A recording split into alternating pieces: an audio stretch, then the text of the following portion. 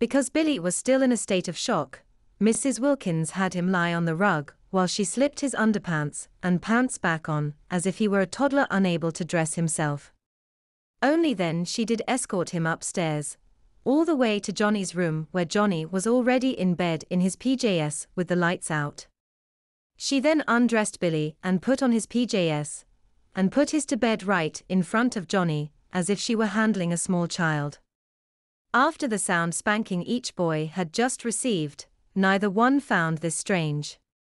She then gave each child a good night kiss before leaving for her own room.